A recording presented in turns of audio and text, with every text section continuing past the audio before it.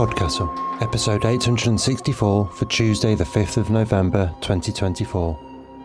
Al Kahf by Beeson Ode, read by Zaina Slayman and produced by Eric Valdes. Rated PG 13, with a content note for the death of a child.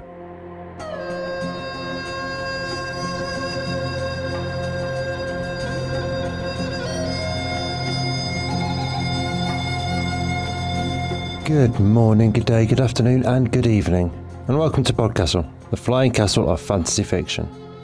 I'm your host, Matt Dovey, and it is an absolute privilege to introduce a special month of stories for you Palestinian Voices. All of us at Podcastle have been horrified by the ongoing Israeli genocide unfolding in the Gaza Strip. A year long assault that has overwhelmingly injured and killed civilians has destroyed the majority of the infrastructure in the region and has displaced 90% of the population. But all too often, Palestine is reduced to, well, exactly what I've just done statistics on its suffering. Numbers and hand wringing, and a lot of public regrets with a little action to follow. But the land and the people are so much more than that, with history and culture and joy, and we want to celebrate that this month. And so, we have four stories lined up for you, written by Palestinians, and with a specially commissioned piece of art by Yasmin Omar Atta that you can see on our social media and website. And it is gorgeous. Drawn to accompany the story Handala, The Olive, the Storm, and the Sea by Sonia Suleiman, which will feature later this month. Today, though, we are kicking off this special month with Al Kahf by Beeson Oda, narrated by Zaina Slayman and first published in Lightspeed magazine, March 2018. Beeson Ode is a first generation Palestinian American born and raised in good old Ohio. After receiving her BA in technical writing and MFA in creative writing, she insists on continuing to write, or trying to, at least. When she isn't staring at a blank word page, she's usually making triple iced espresso and listening to the love of her life, Mr. Elvis Presley. You can see her work in Lightspeed, Ohio's best emerging poets and anthology, and Jenny magazine. You can also find her on Twitter at Beeson underscore O. Zaina Slayman is a Palestinian Canadian writer and educator based in Amiskwacy, Waskahigan, also known as Edmonton. She is a Tin House Workshop alum and former mentee in Canada's Writers Union BIPOC Connect program. She is the recipient of grants from the Canada Council for the Arts and the Silk Road Institute. Her debut novel, Where the Jasmine Blooms, will be released in the spring of 2025. And now pay attention, for our tale is about to begin, and you've heard this rumour by the docks before. Al Kahf by Beeson Ode. There once lived a man who was stolen from the sea. Rare and magnificent, he lived in his cave, rising to the surface every so often to pluck the strings of his violin for the birds before retreating into the water to play for his kin. They spent their days enthralled by the doleful songs of the man who lived in the literal cave. But there came a day when the songs ceased and the people stopped going, and the man was nowhere to be seen. His people first forgot his face, then they forgot his voice, and then his name, until they remembered only the sweet music he played to keep himself company in the cave day and night. Talub had experienced much of his 30 years, including heartache, at the loss of others like him. Rare and magnificent, and stolen from the sea. Few existed, living in the trenches, and corals and caves, each possessing an instrument chosen in youth, forever playing a song that kept them alive, a song that was theirs to play and only theirs. Adored for their sublime skill, they were also hunted by men from the surface, who sought their music's healing properties. It was rumored that the rich notes of a horn or a few strums of an oud could cure injury and illness, but mankind could not leave rumors as rumors, nor could he forsake the opportunity to benefit. Though friendly with most, Talub had just one close companion, Boutros, who lived out in open water near the seafloor, shrouded in red sponge and algae. Sometimes Talub made his way to the sponges. Sometimes Boutros wandered into Talub's cave. They would eat and drink and tell tales until the sun set and the moon gleamed, and the water turned to black like the night sky, starless. They made music and sang songs. But one evening when the moon was full and Talub yearned to play, Boutros did not show. Talub went looking, thinking Boutros might have been by the monolith he liked so much, carving stories into limestone or deciphering hieroglyphics on the sunken tablets of the old pharaohs. It wasn't until Talub found the riven reed of Boutros's ney flute behind the aged anchors he collected that he realized what happened. Despite this, he visited every day and night for weeks after in hopes of finding Boutros lounging in the arms of a large statue or cross-legged in the algae, fingering the ney he always played from the side of his mouth. But Boutros did not return. The day it happened to Talub, he threw out both arms to grab hold of the violin and bow that slipped his fingers when rough netting descended and folded around him like new skin. He held them close and he held them tight as he was dragged up through cold water, splitting deep indigo with his body. He wondered what awaited him on the other side, wondered if his kindred stolen throughout the years rose to the surface as he did in that moment, and if they felt the same weight in their chests. The knotted net cinched around him, drawn up, up, up, and up until he caught a glimpse of the vermilion Mediterranean sun and rolled over the side of a pursed seiner boat. Talub hit the deck hard, disoriented, when bony fingers peeled the net from his flesh and he was dropped into a wide vessel filled with briny seawater and other gunk from old netting. Beneath the deck in the cargo hold, the first things he did were breathe and reach for his violin. He felt a pang in his chest instead, his instrument missing. Where had he been taken? Was there a way out? And if there was, had Boutros found it when he was stolen? Talub moved in his vessel to explore his surroundings but dimness kept him from seeing too far ahead, and sloshing water left him muzzy. For hours he clawed at his container, short squared nails against scratched glass, blood clouding before his face, trapped and unable to see. Talub sank to the bottom of the tank, hearing the water surface sway and slop to the rocking of the ship, feeling the heavy steps of slick sailor boots on the deck above.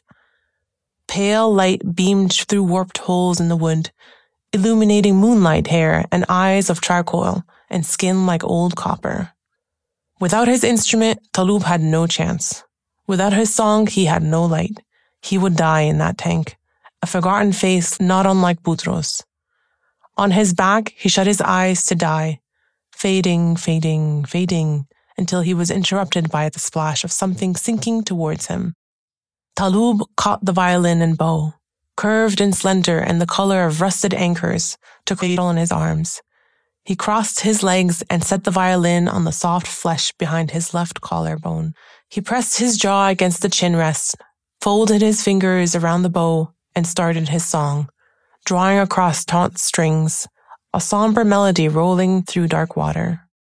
He came to a sudden pause, violin still perched on his shoulder, when he noticed someone or something at the top of the ladder, the silhouette of a broken man, the shell of a man, standing with a candle in his hand.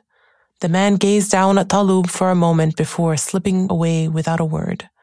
The light vanished, the deck hatch creaked shut, and Talub was alone again. The sailor lived in fractured Gaza, on the eastern coast of the Mediterranean Sea with his wife and young son. He worked as a crew member on a middle sized fishing boat, helping bring home what little he could from the limited fishing zone enforced by occupying forces. But it was never enough, not to eat, or to sell, or to trade. And even if the sailor could sell his catch, there was always a shortage of medicines, including the kind that would cure his son. He lived each day helpless and hopeless until by chance he overheard three men at the nearby coffee shop late one night mumbling and whispering about something they should not have been mumbling and whispering about. The sailor hastened over to insert himself in the conversation. When the men eyed him and started turning away, he offered to supply them with fish free of charge for three days. They exchanged glances before continuing their mumbling and whispering, this time including the sailor. Word had reached their ears of other beings who could heal, far off the coast beyond the fishing limit, some men had snuck out to search for them but never returned. Whether they were drowned by the sea or shot down by the enemy, no one knew, but it was enough to keep even the desperate in place and out of the water. These creatures can heal, you say, the sailor said. Anything? They can cure anything? His shoulders shook as he spoke. The oldest and fattest of the men took a sip from his tiny cup, licking drops of coffee from his gray mustache. They're more than creatures, man like, not some animal you can catch like your fish he said, meeting the sailor's eyes. They're, you know, other beings, clever and wicked as they come. How do they heal? Sea plants? The, their tears? Blood? You do not gut them like fish, the smallest of the men said. You cannot harm them the way they harm us. What exactly are they then? What else but jinn, he said. Jinn who do not run or hide or shapeshift because they cannot be reached in the water. They heal with songs. The fat man took another sip from his cup, the last ounce of bitter coffee. God only knows what else they're capable of with that magic of theirs. The sailor pulled what information he could from the three men before heading home for the night, including when the jinn were rumored to appear and what time of day. He couldn't catch enough fish to save his dying son, but perhaps he could catch a jinn. Talub pressed his toes against glass, drawing the bow back and forth, right wrist loose and quick, left hand around the neck, fingering long, deep, dull notes that filled his tank, his ears, his soul until they were all that existed. Holding a candle at the bottom of the ladder, the sailor watched the jinn and all its grandeur. Talub, still playing his song, met his gaze. The sailor approached him and placed a hand on cold glass. Do you know what I went through to find you? He said, running his palm along the tank's edge. They said I couldn't catch you like my fish, that you couldn't be reached, yet here you are in a tank. Talub held the last note of his song for a moment longer before lowering his arms and holding the instrument to his chest. He flattened his nose against the glass. Is this only to prove them wrong? Talub spoke in a honeyed voice. Have you become a hero to your people? I will be, the sailor circled the tank, dragging his finger across it. Talub twirled in the water, following him, smoky hair around his face and shoulders like pectoral fins. Did you think to ask before taking what isn't yours? Did you consider I might have given you what you wanted, if only you had approached me with dignity and decorum? Do you think your wish will come true now that you have me? Talub pressed for answers, but the sailor said nothing, still circling the tank. I see the way you play your instrument, he commented after a long while in silence. He moved up to the door. You will give me what I want. And if I refuse, Talub flared like the fish in his cave, I'll snap that violin in two. When he reached the shores and walked across coarse sand, the sailor realized curing his son would not be so easy after all. First, the boy's mother certainly would not let him leave the house. In the condition he was in, he couldn't even if he wanted to. Second, if the sailor could not bring the boy to the jinn, he would have no choice but to bring the jinn to the boy, which brought challenges all of its own. He did not want to draw attention to himself and the power he now possessed, but if the sailor wanted to save his son, he needed help. He raced to the same coffee shop and called upon the same three men who sat playing cards while sipping the last drops of coffee from their cups. After promising each man five days of free fish and the jinn's music should any of them or their loved ones fall ill, they agreed and hobbled after him to his boat. Together, the four men eased Talub's tank onto a green plastic dolly and wheeled it off the boat. Talub threw himself against the glass back and forth in hopes of tipping the tank and stopping the men where they stood, but they held it down, going so far as to throw an old tarp over the top to blind the jinn and avert any passerby who might have found a large glass tank on a squeaking dolly strange. They pushed him across sand and wheeled him through town, heads low, gaze lower, past open shops and closed shops, past mountains of rubble and piles of garbage, and billowing flags stripped in red, white, black, and green, arriving at the sailor's home in the end. His wife hurried out the front door, lifting the bottom of her olive dishdasha so as not to trip. Bring the boy, the sailor told her. I'm going to save him. He yanked the tarp from the tank, revealing jinn. Talub sat at the bottom, gently turning the pegs on his violin. To hell with them and the blockade. I can save an entire country with what I've found, the sailor said. He stepped up to Talub. What makes you think I'll do as you say? the jinn asked. I promise to break that violin of yours. You need me more than I need the violin, Talub said, knowing in his heart he could not survive without his instrument, knowing he could never again tell tales or make music or sing songs with Boutros when the sun set and the moon gleamed and the water turned black like the night sky, starless. Help me, the sailor said, and I'll give you anything you want. Striking a deal with jinn, Talub moved forward, pressing his forehead against glass. I want out of this tank. Cure my son, then I'll take you out, the sailor said. He glanced back over his shoulder when his young son shuffled out of the house, shaking and enveloped in frazzled blankets. Tonight, Talub said, eyeing the boy long and hard before shifting his gaze back to the sailor. The jinn spread his lips, tine teeth behind a sickening smile. At your service. Despite the sailor's effort to keep the jinn a secret from the rest of town, word began to spread. The men from the coffee shop had nothing to gain in telling others.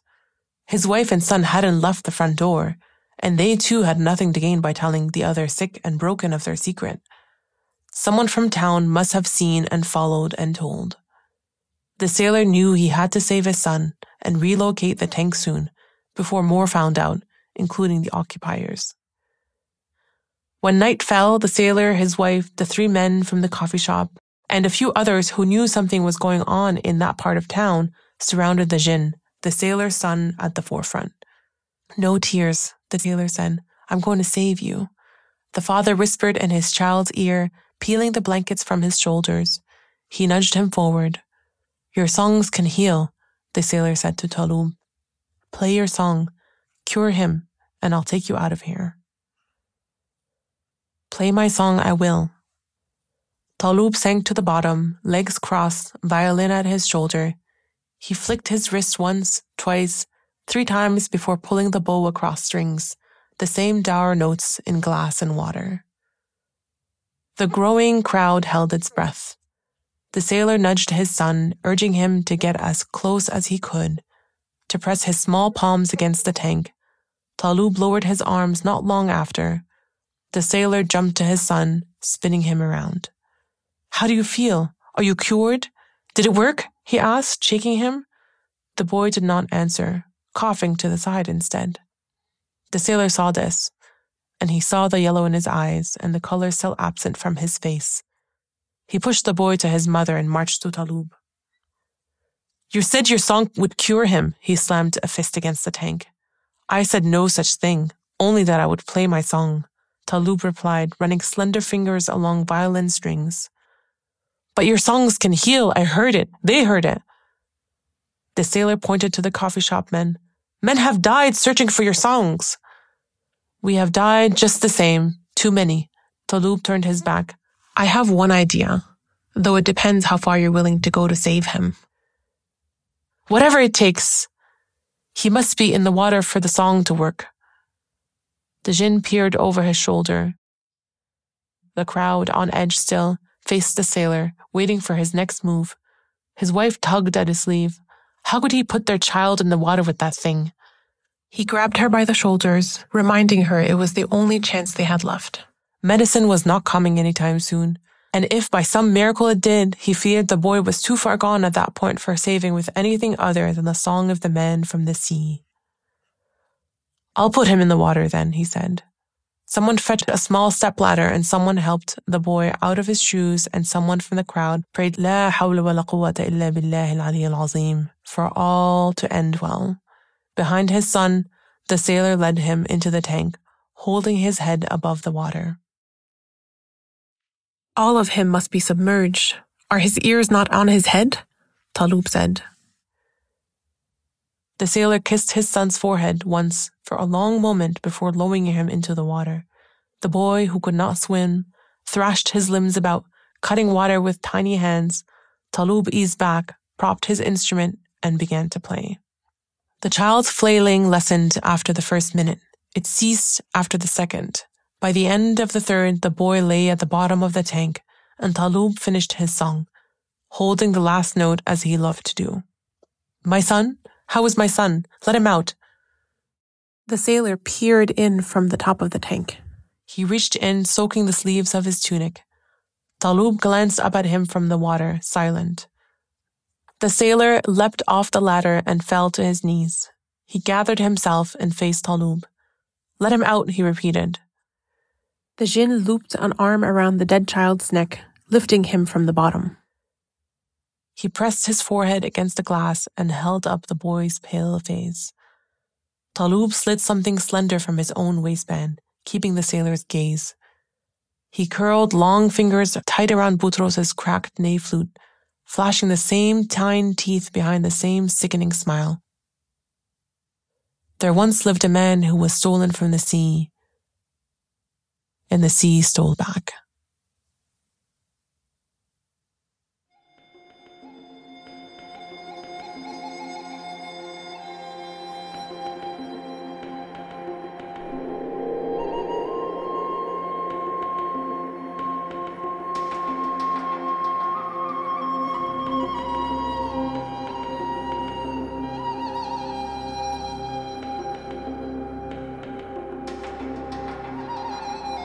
And welcome back. That was Al Kahf by Beeson Oda. And if you enjoyed that, then I'm afraid I couldn't track down any other stories online. But you can follow her on Twitter at Beeson underscore O and find out when her next story comes out. Beeson sent us these notes on her story today. Living in the West as a Palestinian and Muslim is an interesting thing, a constant battle of yearning to belong while wanting to hold on to your roots and wanting to embrace those roots or desperately trying to educate everyone around you. Because ultimately, no one knows anything, if you catch my drift. My identity, religion, culture, and ties to Palestine are every day for me. Writing Al Kahf, I drew inspiration from love, life, and faith, an effort to explore the real through the unreal in Gaza, the place people used to know nothing about. She also said, in her notes to us on the preferred identity of the narrator, that if you look, you might see metaphors that Palestine is a woman. Palestinian women are the foundation of our people. They are resistance and they are fearless. And I think it's important to share that note too. So thank you, Beeson, for those thoughts and for your story. This story, and all this month's stories, very much speak for themselves and speak clearly and speak in their own true voice. As such, I don't feel it's my place to add to that, to layer my own interpretation on top because, frankly, history and Palestine have had far too much of white British men talking for them, and I prefer to let these authors speak for themselves through their stories. Instead, I want to take these outros to speak of life in Palestine more broadly. As I said in the intro, it is too easy to speak of Palestine only in terms of its suffering, to reduce it to statistics and sadness, when it is and has been so much more. It is alive, it is human, and to be alive and human is to find joy and delight where you can, to create and be curious. I've given you outros in the recent past that dwelt on the current horrors, but Palestine deserves more than that.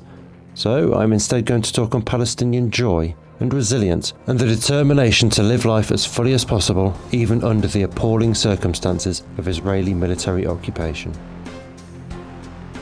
Some of these outros, and certainly today's, will owe a debt of research to the book Light in Gaza Writings Born of Fire from Haymarket Books and edited by Jehad Abusalim, Jennifer Bing, and Mike Merryman-Lotze.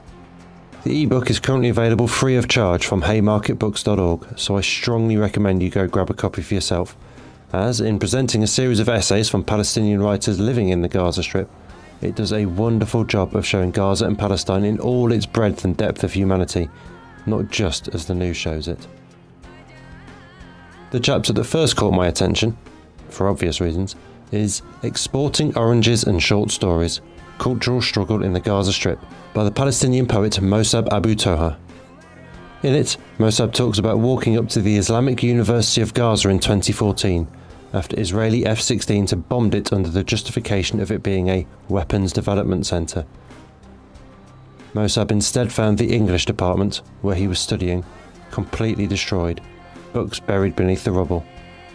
This loss, this wanton destruction, spurred him on to create a public library, starting with a handful of books donated by Professor Noam Chomsky personally in early 2016.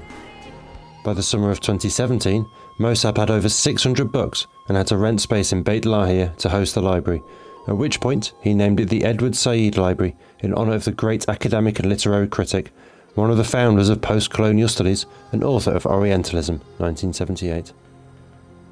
By early 2018, the library had already had to move to larger premises and incorporated a children's room, art room, and lecture room. In 2019, with the support of Edward Said's widow, Mariam Said, a second branch opened in Gaza City. These two libraries offered reading clubs, English lessons, computer lessons, and more. Mosab also talks of the other libraries in Gaza the Bani Suhayla Municipality Library, the Diana Tamari Library, the Red Crescent Library, though unfortunately most of them are mentioned with an accompanying reference to their closure, either from Israeli attacks, unclaimed arson attacks, or from suppression and censorship by the Hamas authorities in the Gaza Strip. Bookshops are likewise attacked or forced into closure as reading becomes a luxury that must be set against survival. Shipments of new books in are intercepted, censored, and made impossible to receive by the Israeli authorities, resulting in a cultural isolation for residents of Gaza that limits hopes of a new and better future. Nonetheless, this urge to create libraries to turn destruction into hope and the rapid growth of the Edward Said libraries shows how life needs literature and art and an escape from the mundane around us. As Mosab Abu Toha says in his essay, an important part of Gaza's tradition of learning is its insistence on writing and literary production. This, too, is another way we resist and persist.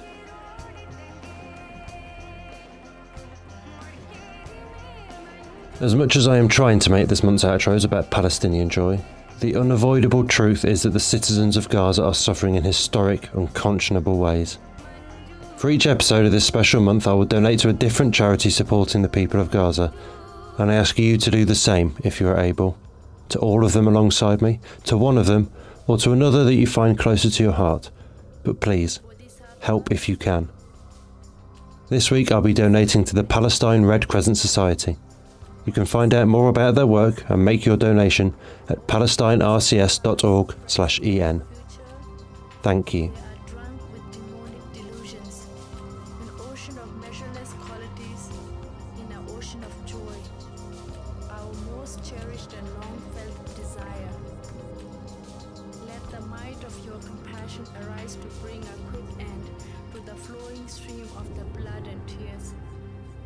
That was our show for this week.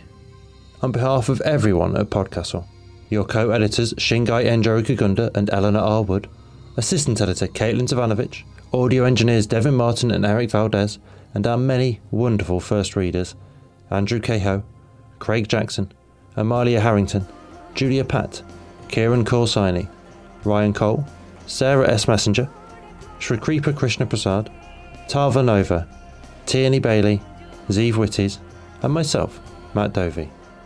Thank you for letting us share another story with you. The Legal Bit Podcastle is part of the Escape Artist Foundation, a 501c3 non-profit, and this episode is distributed under the Creative Commons Attribution Non-Commercial No Derivatives 4.0 international license. That means you can share it, and please do, but you cannot sell it and you cannot change it. If you want specifics, check creativecommons.org. Our music is by Shiva in Exile. Everything we do on Podcastle is 100% donor funded, and if you'd like to support what we and the rest of EA do, please join us on our Patreon at patreon.com slash eapodcasts. Prefer another method? There's details for supporting us via Twitch, Amazon Prime, Ko-fi and PayPal on escapeartist.net. We'll be back next Tuesday with another fantastic tale.